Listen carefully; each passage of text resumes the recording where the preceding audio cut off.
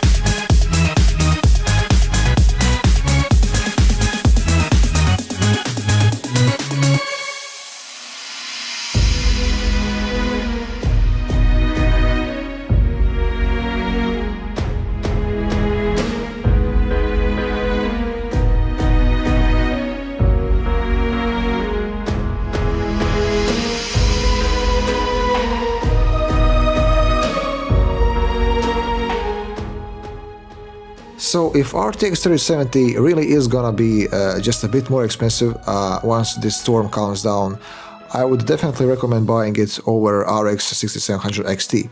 Uh, I just think it's a lot better uh, choice considering how much better it performs. Uh, but of course, your money, your decision. I'm just here to give you my two cents. And yeah, this is for this video. Uh, thank you guys so much for watching. like, subscribe, and see you guys in the next one. Stay safe.